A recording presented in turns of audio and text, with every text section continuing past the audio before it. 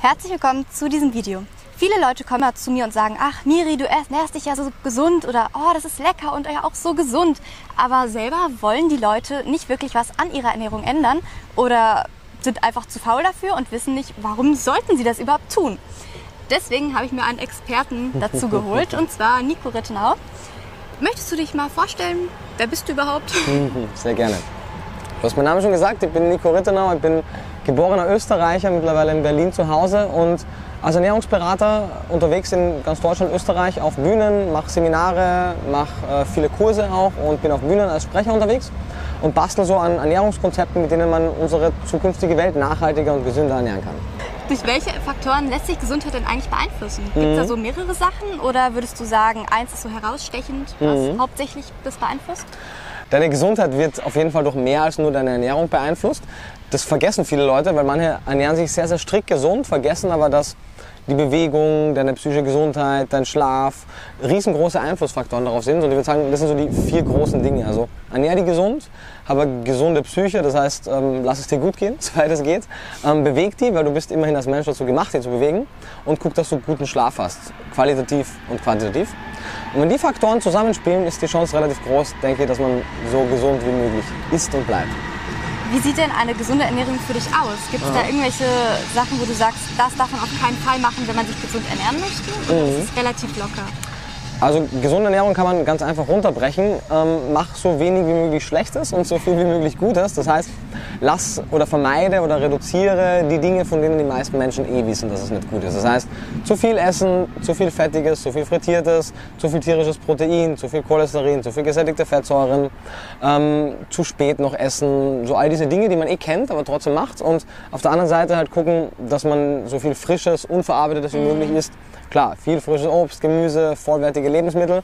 Es gibt so diesen schönen Spruch, iss nichts, was deine Uroma nicht auch kannte. Das heißt, da kann man schon viel ableiten, wobei meine Uroma kannte wahrscheinlich Chiasamen auch nicht.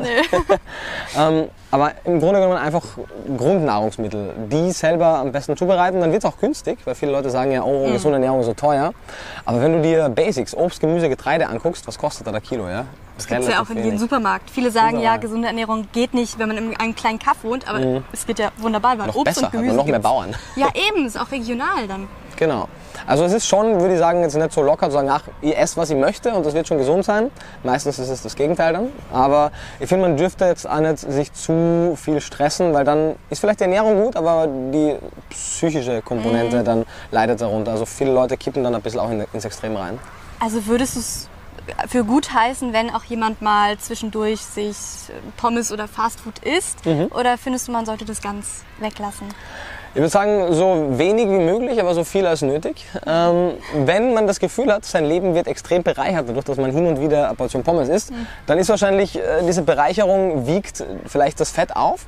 Und ich glaube, wenn man sich ausreichend bewegt und viel Sport macht, dann verzeiht der Körper auch schneller so Ernährungssünden. Also ich würde besser finden, hin und wieder Pommes zu essen und dafür regelmäßig Sport zu machen, als nie Sport zu machen und nie Pommes zu essen. Oh, da- das kenne ich so gut.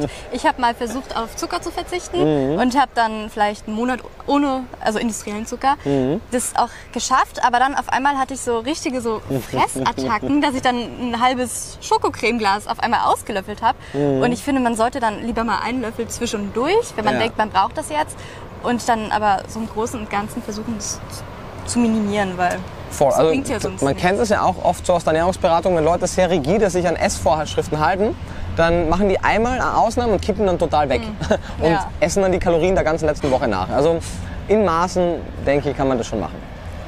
Okay, wenn jetzt so jemand zu dir kommt und sagt, ich möchte meine Ernährung so gesund wie möglich machen. Er ist Anfänger. Mhm. Was würdest du ihm raten?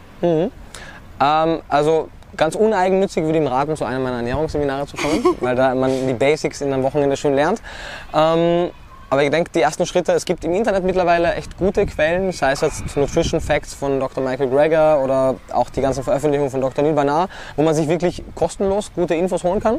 Es gibt schöne Einsteigerbücher, ab heute vegan von Patrick Borg und ganz, ganz viel mehr, wo man sich gut einlesen kann. Und dann würde ich sagen, der erste Schritt führt direkt in die Küche. Einfach einmal sich Rezepte heraussuchen, gucken, was einem schmeckt und dann wächst man da, glaube ich, schnell rein. Ich glaube, das Schlechteste, was man machen kann, wäre zu sagen, okay, ab heute ernähre ich mich gesund und vegan und vollwertig Und ich lasse keine Fehler mehr zu, weil dann wird man, glaube ich, frustriert. Also das ist, glaube ich, ein Weg über... Der Stress kommt dann ja wieder auf. Genau. Also gesunde Ernährung genauso wie genügend Bewegung ist ein Prozess, denke ich. Und umso mehr man macht, umso mehr lernt man darüber. Wichtig ist, dass man anfängt.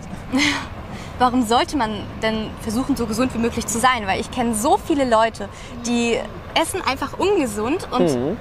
Lassen den Gedanken, sich auch mal gesund zu ernähren oder selbst gesunde Sachen zu machen, gar nicht zu.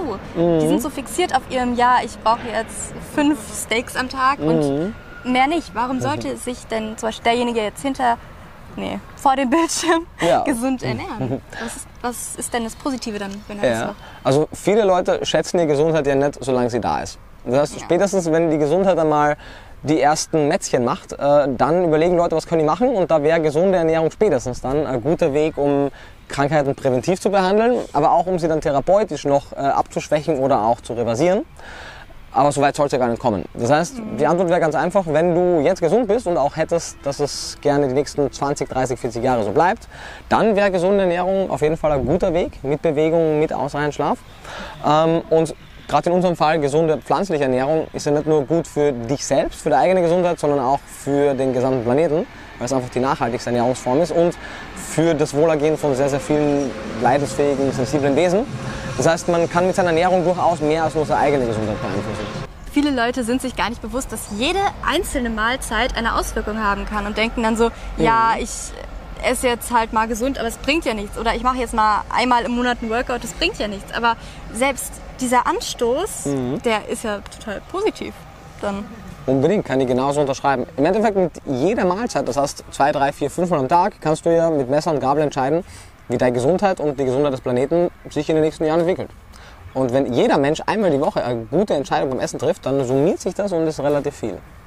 Stimmt, weil man hat, isst ja so viel. Ja, Das ist voll krass, weil Essen soll doch eigentlich ein, so eine Art Motor sein, dass Ja, man auch das Sachen schaffen kann. Und wenn man nur Müll in sich reinstopft, dann Ja, also man würde das Auto ja auch nicht mit Altöl betanken, sondern sagt, hey, ich kaufe mir guten Diesel oder guten Benzin oder kaufe mir ein Elektroauto ähm, und pass richtig gut auf, dass dieses Auto lange fährt, weil wenn der Motor mal kaputt ist, dann muss ich mir neues kaufen.